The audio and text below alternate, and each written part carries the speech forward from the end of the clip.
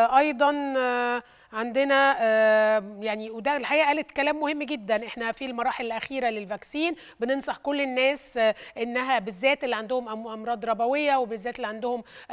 يعني أمراض في الصدر إن هم ياخدوا vaccine الانفلونزا العادي وده متوفر في المصل واللقاح خلونا نذهب ل آه، آم، قضية أخرى سريعا مجل... آه، صندوق النقد الدولي آه، عدل آه، توقعاته لنمو الاقتصاد العالمي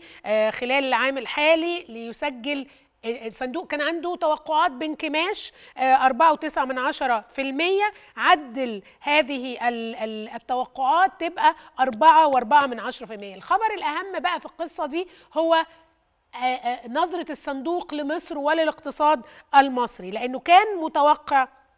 إنه يحصل انخفاض في معدل النمو يصل إلى أو ان معدل النمو يصل 2% آه، الحقيقة إنه عدل توقعاته إن معدل النمو خلال المال العام الحالي ل 2.8 من عشرة